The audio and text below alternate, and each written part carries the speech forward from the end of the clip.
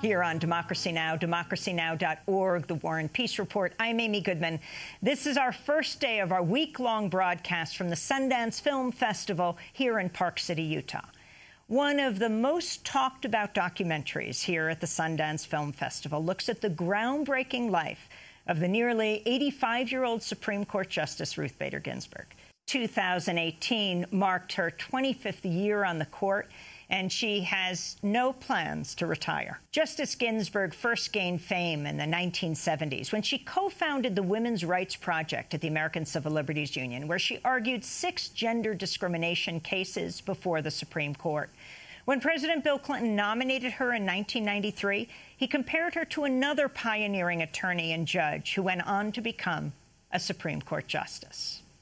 Many admirers of her work say that she is to the women's movement what former Supreme Court Justice Thurgood Marshall was to the movement for the rights of African Americans. In recent years, Justice Ginsburg's public profile has soared as the court has swerved to the right. Ginsburg often now finds herself on the dissenting side of opinions. In 2013, she wrote a scathing dissent in Shelby versus Holder, a landmark case that eradicated a key part of the Voting Rights Act. She wrote, quote, throwing out preclearance when it has worked and is continuing to work to stop discriminatory changes is like throwing away your umbrella in a rainstorm because you're not getting wet. Dissents like that helped Ginsburg cement her role as a feminist icon. She gained the nickname Notorious RBG, which became the name of a best-selling book. She has been portrayed on Saturday Night Live. Details of her exercise workout routine have gone viral. And now she's the subject of a feature-length documentary here at Sundance Film Festival simply called RBG. The film premiered on Sunday night, and none other than Justice Ruth Bader Ginsburg was in the audience to see the film for the first time. Afterwards, she joined the directors Betsy West and Julie Cohen on stage, and it was there they had a chance to ask her a question. As you flew into Sundance on Saturday, thousands of women around the country um, were marching, uh, rallying, and saying, Me too, and time's up. And I'm wondering your thoughts on this movement and whether that demand you made so many decades ago you feel still stands. Take the boots off our necks.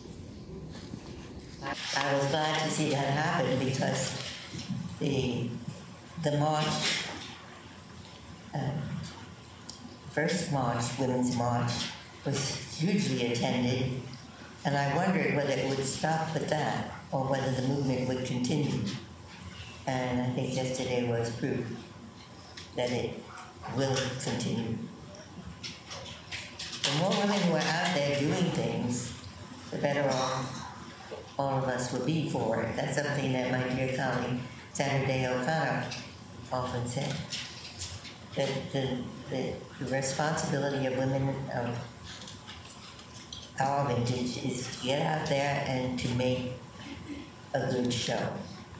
And the more women who are out there doing things, the more younger women will feel, will have the courage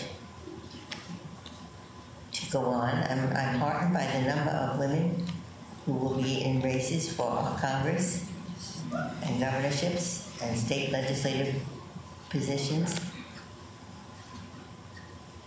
So it was a favorite expression of Martin Luther King the arc of the moral universe is long, but it bends toward justice. And I added to that, yes, if there are people who will strive with all their might to see it happen.